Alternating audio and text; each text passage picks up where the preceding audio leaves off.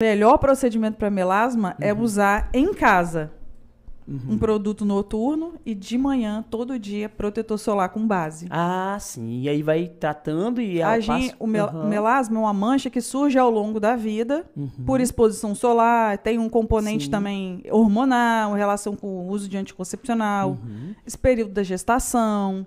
Ah, sim. Nesse período de gestação É, acontece antigamente a gente chama, né? falava que só, que só a gestante tinha, né? É, Cloasma aham. gravídico. E hoje a gente sabe que todo mundo tem É, um to- pouquinho de melasma. Aham. E é uma mancha que não some, ela melhora, mas ela vai e volta. Você, você pega um solzinho, passa o calor e volta, Sim. acende. Acende e É. apaga. Aham. Então eu considero que o melhor tratamento é o protetor solar com base.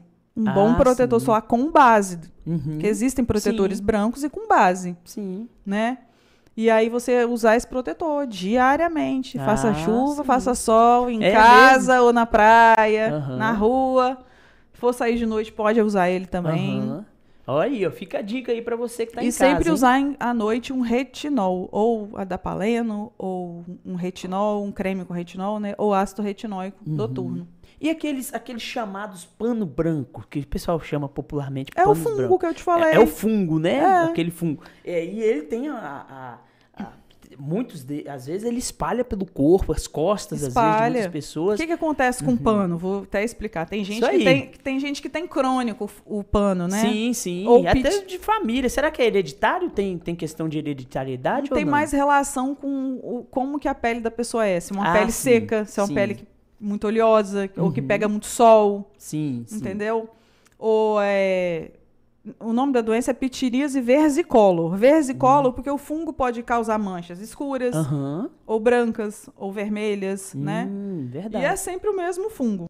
Sim. numa família de fungos. Ele vive no nosso couro cabeludo e ele é Hum, um, sim. um fungo que todos nós temos. Ah, e ele. Só que um- tem gente que tem baixa resposta a ele. Uhum. E aí ele se alastra.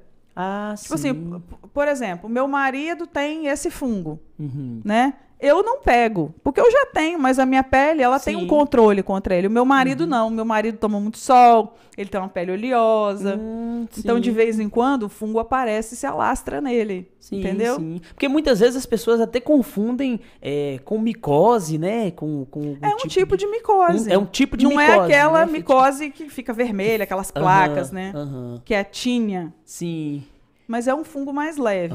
E ele, ele causa constrangimento, porque ele mancha a pessoa. Sim, ele sim. tira, deixa a pessoa com manchas brancas, Tem, né? tem certos casos que chega até o pescoço, né? Sim. Acaba alcançando. Eu geralmente até... recomendo o uso contínuo de um shampoo específico. Shampoo? É, porque aí Uhum. toma banho com ele, passa no couro Sim. cabeludo. Ah, E interessante. quando alastrar, tem que tomar antifúngico, não tem Aham. jeito. Toda vez que Procurar um profissional, né? E, Sim. e tomar um antifúgio, que não tem jeito, né? Será que sua pele é muito seca? Talvez você precise hidratar a sua pele. Uhum. Será que sua pele é muito oleosa? Às vezes precisa usar um sabonete específico para não Ah, ter o sim. substrato para o fungo se apropriar, né? Do seu, da sua pele. Sim.